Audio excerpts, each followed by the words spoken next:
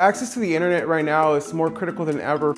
It's essential for folks to be able to find jobs, study, advance any career or educational goals, stay connected with family, and just participate in everyday life activities.